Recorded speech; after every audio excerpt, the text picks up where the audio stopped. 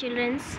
Today again i am going to continue this chapter. This is uh, that is chapter 3 and today's topic is playing an animation. The player control groups in the tools panel have different buttons to play stop and loop. An animation as shown in figure 3.20 figure 3.20 player control group this is the button of play button. This is stop button. This is loop button. And this is 6.7 it's frame rate slider button. Okay? Let us understand the function of each button. Means अब हम समझते हैं कि हर एक button का function क्या होता है। तभी तो हम जान पाएँगे कि ये इन बटन्स ये बटन्स क्यों यूज़ होते हैं, किसके लिए यूज़ होते हैं। Play buttons to play the animation means ये जो एनिमेशन है ना, इसको प्ले करने के लिए, ये जो फिगर में हम एनिमेट करते कोई भी एनिमेशन डालते हैं, इनको, इसको प्ले करने के लिए मीन्स इसको स्टार्ट करने के लिए हम यूज़ करते हैं प्ले बटन को। Stop button to stop the animation stop button use करते हैं बटन मीन्स एनिमेशन को स्टॉप करने के लिए।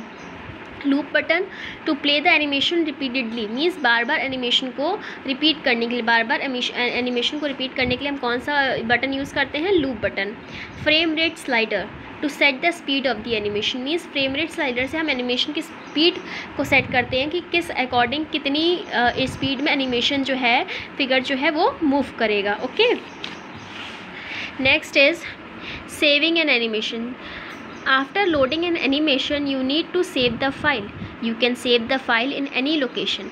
The file will be saved with an extension .piv just like MS Paint, just like MS Word. जिस तरह से हम MS Word में फाइल्स बनाते हैं MS Paint में ग्राफिक्स इमेजेस वगैरह ड्रॉ करते हैं क्रिएट करते हैं उसके बाद सेव करते हैं ना अपनी फ़ाइल को MS Paint में उसी तरह से पीवॉट एनिमेटर में भी जब हम एनिमेशन को अपना अपने एनिमेशन को क्रिएट कर लेते हैं अपनी फ़ाइल एनिमेटेड फ़ाइल को क्रिएट कर लेते हैं उसके बाद हम अपनी फ़ाइल को सेव करते हैं और यहाँ पर जिस तरह से एम एस पेंट में डॉट पी का यूज़ होता है डॉट पी एक्सटेंशन का यूज़ होता है। इस फ़ाइल को सेव करने के लिए उसी तरह से डॉट पिवॉट एनिमेटर में dot P I V file extension का यूज़ होता है फ़ाइल को सेव करने के लिए। To save a file how to save a file these are the steps click the file tab. First of all, click on the file tab. The file menu appears. This is the file menu, okay? Then click the save animation as option as shown in figure 3.21 then after that file menu के अंदर हम save animation option पे click करेंगे. The save as dialog box appear as shown in figure 3.22 when you click on this button this window will be appear this is save as dialog box from the left pane, select the location where you want to save the file. And then after that left pane से हम location select करते हैं कि कहाँ पर हमको file को save करना है। डेस्कटॉप में नेटवर्क लाइब्रेरी में कंप्यूटर आइकन में मोस्टली हम लोग डेस्कटॉप में ही सेलेक्ट अपनी फ़ाइल को सेव करते हैं। तो डेस्कटॉप सेलेक्ट कर लेंगे। Type the desired name in the file name box then after that file name में हम अपना कोई भी जिस नाम से फ़ाइल को सेव करना है, वो नाम सेव डालेंगे।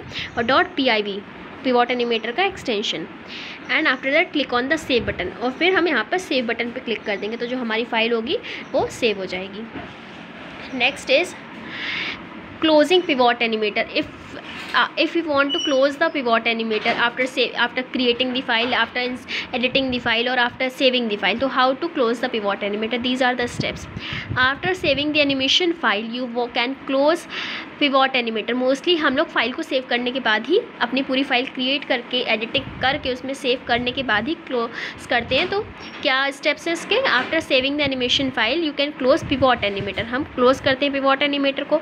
To close it you need to exit the application software close करने के लिए हमें एग्जिट करना पड़ता है एप्लीकेशन सॉफ्टवेयर को to exit pivot animator click on the file tab the file menu appears first of all हम क्लिक करते हैं फ़ाइल टैप पे। तो फ़ाइल मेन्यू अपियर होकर आता है। Then after that click on the exit option as shown point two three the window closes the window closes when we file option में जब हम एग्जिट ऑप्शन पे क्लिक करते हैं तो जो हमारी पिवॉट एनिमेटर की विंडो होती है, वो क्लोज हो जाती है okay now here your chapter is over just go through this video also thank you